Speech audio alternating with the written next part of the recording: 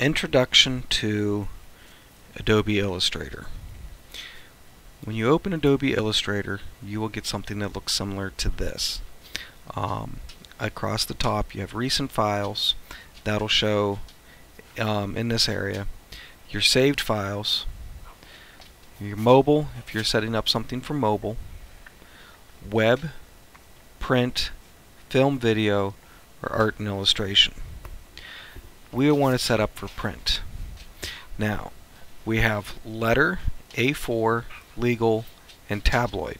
These are all different sizes of paper, but we can also set custom sizes, and that's all over here. Right now, the measurement system is set for points. We want to switch this to inches. So we'll switch to inches. Now, what depending on what you're doing, you will set your width and your height for whatever you're doing. If it's for something for a laser engraver, if it's something for a CNC machine, this will be the size of your material. So for my case right now, we're just going to use 8.5 by 11, which is a letter size paper, your normal printer paper. And I will click Create. Now, the white square is our paper. The gray area is your pasteboard anything that you have on a pasteboard will not print when you hit um, file print. So like this text right here, right now it's sitting on the pasteboard. It will not print. If I hit print right now, I'd get a white sheet of paper.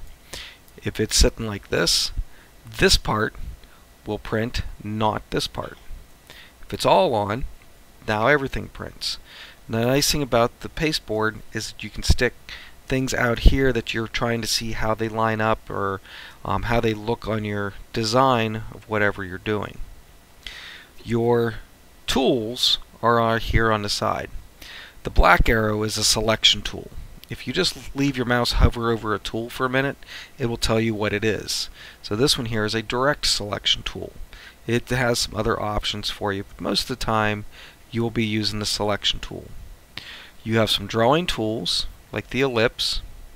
And any of these tools that have this little triangle right next to them, that is other uh, tools that underneath the tool. So we have we have a line, we have a star, a polygon, an ellipse, a rectangle.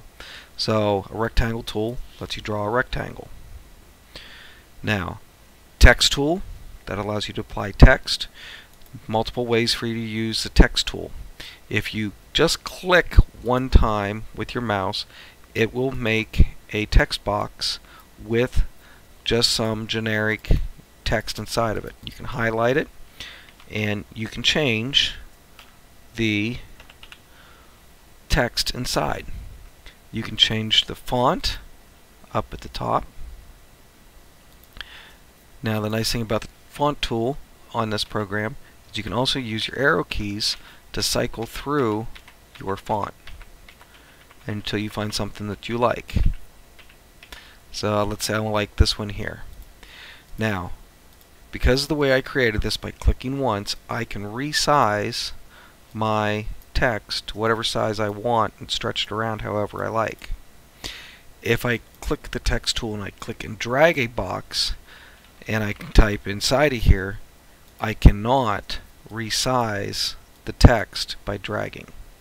So I avoid clicking and dragging with the text tool. I just click one time, let it fill in, and then I can resize with the, with the selection tool.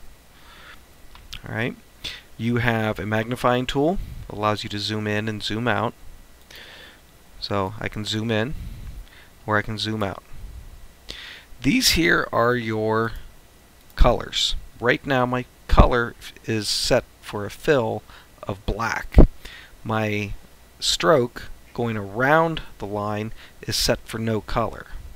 Let's give this a color. Let's say I want it to be red. The stroke is how thick the line is going around the image. And see how that changes? Okay, I'll zoom in on it a little bit more. So I can change the stroke on how well it looks.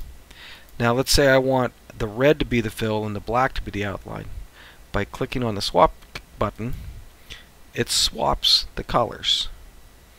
Alright, so that's these are the main tools that you're going to be using. The colors, the selection tool, the drawing tools, the text tool, and your zoom in and zoom out for the most of the things you're doing here. If you are having any issues, please raise your hand and I'll come around and help you as needed.